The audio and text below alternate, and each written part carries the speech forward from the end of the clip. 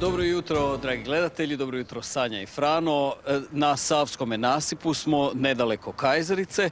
Odlučili smo vam jutros pokazati kako izgleda Sava. Iako to još nije vodostaj za zabrinutost, e, moram reći izgleda impresivno ta moćna rijeka. Mnogi će se Zagrebčani sjetiti 26. listopada 1964. kada su Zagrebčani doživjeli katastrofalnu poplavu u kojoj je e, nestalo 17 ljudskih života. Tada su počeli se i graditi ovako e, veliki nasipi koji su trebali zaustaviti sve kasnije poplave i nalete vode. Mi ćemo se jutro zbaviti problemima s kišom i nabujalim vodama, tako odlazimo na Kajzericu, provjeriti zašto je tamo dosta toga poplavljeno, a nešto kasnije bismo se trebali javiti iz Zagrebačke kustošije gdje se zbog kiše odranja tlo. Jutro izgleda kao e, da će svakog trena pasti kiša, nije previše hladno i ovi rijetki prolaznici koje smo vidjeli na nasipu povremeno pogledaju e, vodostaj Save, odnosno povremeno pogledaju kako izgleda rijeka. Da, nema nikoga, sami smo tu, toliko za sada, lijepo vas pozdravljamo i vidimo se nešto kasnije. Dobro jutro, naša adresa ovog trenutka je Južna obala, e, brojevi 2, 4 i 6, pa možda bi bilo dobro reći da sad ne izazovemo paniku, ovo nije recimo e, poplava Save, nego je ovo jedna situacija koja nastaje kada ima puno kiše i kada Sava nabuja, E, događa se poplavljanje ovih podruma. Na Kajzerici razgovaram s gospodinom Leonardom Topićem, jednim od stanara, dobro jutro. Dobro jutro. Kakva je to dakle voda? Pa ovo su podzemne vode, jedan dio podzemne vode, a jedan dio kanalizacije koja očito ima nekih problema, pa ko- ko god nema neke ventile zaštitne, voda preko kanalizacije dođe u dvorišta, dođe u podrume, dođe u garaže, ali prvenstveno podzemne vode kad se Sava podigne e, i po- posebno kad se Sava počne povlačiti, što se sad događa u Zagrebu, kod nas u podrumima nekim počne se pojavljivati voda. Kad je počelo?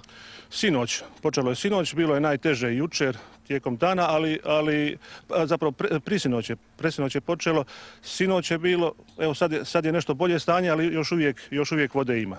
S nama je gospođa Danilović, dobro jutro. Nažalost, rekli ste ovo vam je 20. poplava. Sigurno 20, sigurno 20. U 12 godina koliko ovdje živim, stanujem. I recite, je li se moglo nešto napraviti? Je li negdje problem u građenju? Jeste li se raspitali? E joj, jesam, jesam. E, Bili su tu iz vodovoda, iz, grada i analizirali su iz, i oni jako dobro znaju problem. I taj problem, da li se može riješiti ili ne, ja ne znam. Meni su obećali da će se riješiti, da to treba kopati, da treba neki ventil, da treba, nije ovaj, dobro izvedeno. E, Od kad ste vi na nogama? Ja sam svako, ja jutros od četiri. Ja sam inače od četiri ujutro jer imam bolest, teško bolesnog supruga i živimo u prizemlju.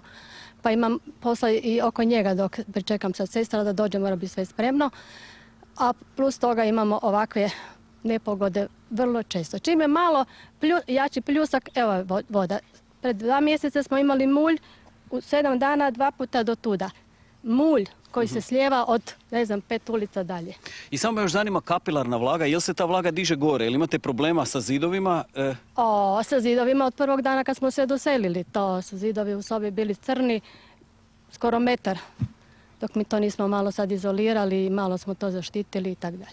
hvala vam lijepa. Evo na problem smo upozorili. Vi ste tu došli, prisluškujete nas. Ko ste- odakle ste vi? Ja sam isto stanovnik ovdje, ali najviše garaža imam, ali nisam za stalni, Mhm. ali malo sam više upoznat, pošto Daniela ne pozna šta je ovdje uzrok, a to sam ja upozoravao, pošto sam otvorio kanalizaciju glavne ceste mreže, Mhm. što su oni, oni su ubacili profil cijevi 40 cm, oni su samo računali na par kuća. To mi je znači posve jasno. Znači po ovo... e, To su po, po, cijevi biti minimum od metra do metar i pol. Da bi moglo gutati toliko Tako vode. je, Jasan mi je taj problem. Mi samo bismo još pozdravili i vidjeli vatrogasce jutros, jer naime, kada imate ovakvu situaciju, zovete 112 i njihova služba za obavještavanje šalje vatrogasnu jedinicu. Dobro jutro, dečki. Dobro jutro. Otkad ste ovdje? E, ja i on smo od 12, a kolega je tu od ranije. I što točno radite?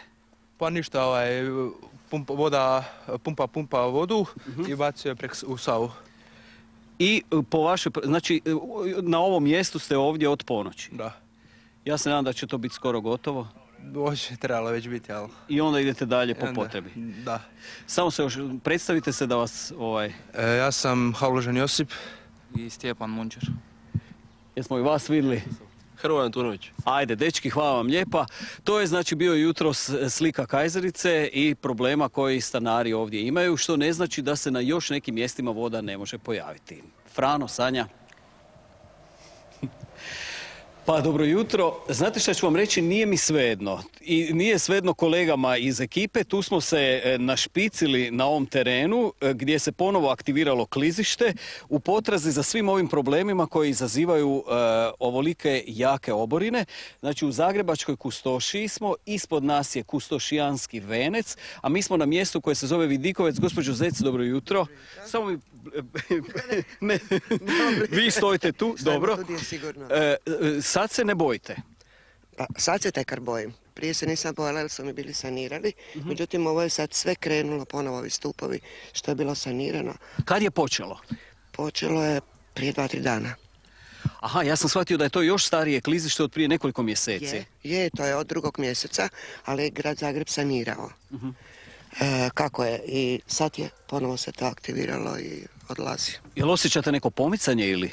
E, pa nismo osjetili pomicanje, osim što vidimo ovdje da sve odlazi dolje. Jesu li vam savjetovali da se iselite iz kuće ili možete ovdje boraviti? Oni su nama rekli ako želimo možemo otići da se prijavimo za smještaj. Međutim, odlučili ste... Pa za sad smo još odlučili ostati u svojoj kući. A recite mi, u kući nema nikakvih, da se vide recimo napuknuća ili da se nešto događa sa zidovima? Ne, to je bilo prije nego što je ovdje sanirano. Sad je u redu. Gospodin Miro Jukić je iz gradskog ureda za promet. Dobro jutro i, i vi se držite. je jako klizavo i jer je e, teren takav namočen vodom, toliko je saturiran da u njega više ne stane ni kap, ni milimetar vode. Tako da je jaka opasnost velika. E, A što se tiče samoga klizišta, ono je u veljači ove godine privremeno sanirano i napravljene su hitne mjere. Međutim, te hitne mjere nisu završene do kraja zbog te su saturiranosti zemlje. Jer ne može nijedan stroj kao što vidite ovdje, da je to žitko blato iz kojeg imamo tu jednu leću pjeska iz koje se natapa to klizište i nijedan stroj u to ne može ući. Ručno kopat na pet metara ne možete. Dakle, s tim strojem, ako bi došli na vrh ovoga klizišta, samo bi izazvali još goru stvar. I u ovom trenutku ništa poduzeti ne možemo. Moram vam reći da je od prvog četvrtog ove godine pa do danas evidentirano samo 40 radnih dana koje se može raditi da bi mogao stroj ući u tih 40 radnih dana. Ali nikad u kontinuitetu dužem od 5 ili 10 dana da bi se moglo procijediti i da bi stroj mogao ući unutra. A dobro, kako vidite onda rješenje? Što, što se tu onda treba napraviti? Trebamo moliti dragoga Boga da nam pošalje sušni period. Mhm. Nema drugog nego sušni period da pošalje bar od desetak dana. Jel se može što dogoditi sa ovim kućama? Pa može, ove dole dvije kuće na Kustošijanskom vencu koje su na broju uh, 46 i 48 su ugrožene i mi smo njima ponudili uh, iseljenje, međutim oni iselit ne mogu, uh, ne žele, a zašto ne žele to je njihova stvar, oni ostaju na vlastitu odgovornost. Znači, rizik postoji da se ova količina zemlje spusti dolje. Apsolutno ga. Jel se može dogoditi da se ove kuće jednostavno prokližu dolje? I to se može dogoditi. I to se može dogoditi. Zato smo stavili ove privremene mjere, takozvane drvene pilote, koji nažalost oni nisu na dovoljnoj dubini, jer ih je nemoguće zabiti na 6 metara, ali koliko toliko oni su držali do sada. A sad dalje je sam drag Bog zna hoće li držati dalje ili neće držati dalje. Vaša točna funkcija, vi ste pri gradskom uredu za promet, voditelj, Da, graditeljstvo, uređenje, prostorno uređenje, graditeljstvo i tako dalje. ali voditelj ste... e, za održavanje klizište, odsjeka za održavanje klizišta. I otprilike vi imate, e, recimo, pregled dijela ovakvih problema ima širom Zagreba ili je ovo trenutačno jedini? Pa mi smo u zadnje dvije godine, od siječnja 2013. godine do danas e, zaprimili negdje oko 170 dojava ovakovih stvari.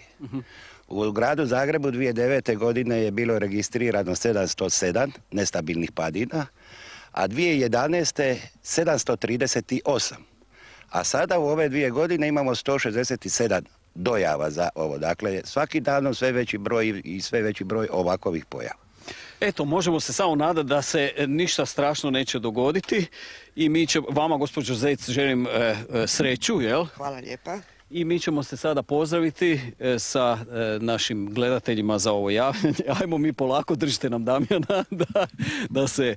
Vidim i ekipi jedan pogled u očima, kako bih rekao, sa malo straha. To je to, Frano Sanja.